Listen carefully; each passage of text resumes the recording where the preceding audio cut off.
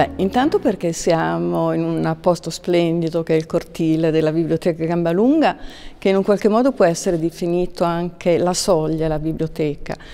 Per una biblioteca come la nostra, che aspira a essere una biblioteca aperta, una biblioteca che entra a far parte delle abitudini di vita dei nostri cittadini, dei riminesi, ma anche degli ospiti, di coloro che sono di passaggio,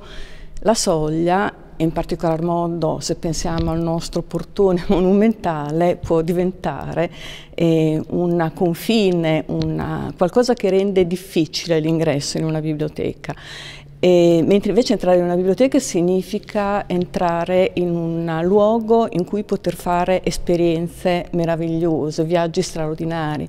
riuscire a vedere diversamente il mondo, le cose. Ecco, vedere. E gli antichi greci con, con questo verbo pensavano e eh, facevano riferimento a quello che è una delle nostre sensazioni fisiche, uno dei cinque nostri sensi,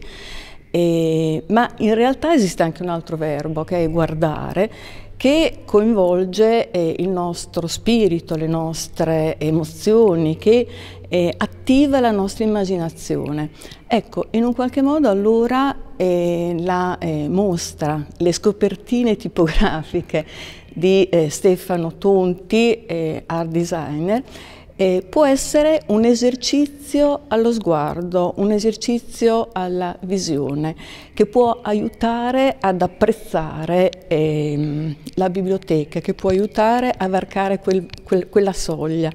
quel eh, confine ma soprattutto eh, il lavoro che Stefano Tunti ha fatto su queste scopertine tipografiche, cioè sui titoli dei libri. I titoli dei libri sono i nomi che vengono dati alle opere, sono la loro identità, ciò che permette alle opere di viaggiare nel mondo è un'operazione estremamente giocosa eh, che ci dice qualcosa di più della lettura, cioè che leggere è un gioco, che leggere è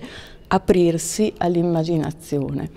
E questo gioco che eh, Stefano Tonti fa sulle lettere, eh, sui caratteri, ehm, che Anna Maria Bernucci ha definito il lavoro eh, coraggioso e addirittura quasi azzardato di una performer, tanto che a me questi, eh, queste copertine fanno pensare quasi a delle scene eh, teatrali, eh, rappresenta eh, un vero e proprio eh, binomio creativo, quello che, ehm, di cui aveva parlato Gianni Rodari, e cioè muovendo le lettere, spostandone la posizione, si modificano eh, i significati, ma soprattutto ci si discosta da quel eh, binario della consuetudine che, mh, non, che ci impedisce di vedere le cose. E, ehm, quindi eh, il lavoro, le scopertine tipografiche di, di, Stefano Tonti, che in realtà hanno un titolo,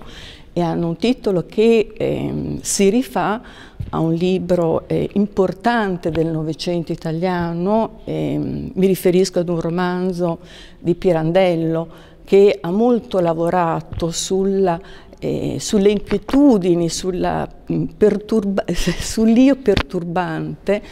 eh, uno, nessuno, centomila, è il titolo vero di questa mostra eh, che mh, provoca degli spostamenti, degli spostamenti degli sguardi, degli spostamenti di significato. Ma ripeto, ehm, quello che mi pare l'aspetto più interessante è proprio il gioco, è la relazione che si crea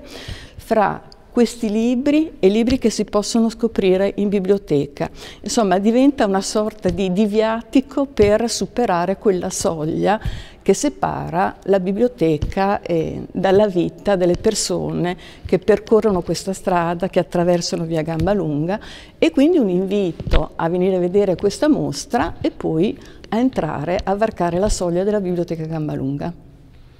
che diventerà un elemento connotante di questo luogo, eh, nel quale abbiamo pensato come proprio una, un luogo per i lettori, tant'è che abbiamo messo delle poltrone in cui potersi sedere, chiacchierare,